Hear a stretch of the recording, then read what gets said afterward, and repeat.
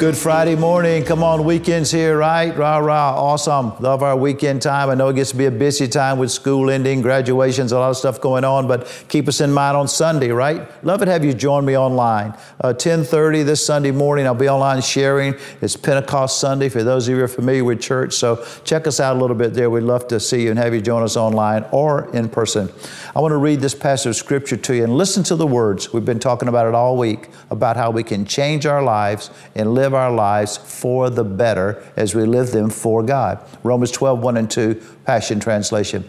Beloved friends, what should our proper response be to God's marvelous mercies? He answers it to surrender ourselves to God by being His sacred living sacrifice and live in holiness, experiencing what delights the Lord. For this becomes your genuine expression of worship, he says. And here's what he goes on to say Stop imitating. Here's how we make the change. Stop imitating the ideals and opinions and cultures of the world and be inwardly changed by the Holy Spirit through a total reformation of how you think. And this will empower you to discern God's will as you live a beautiful life, satisfying and perfect in His eyes. Wow!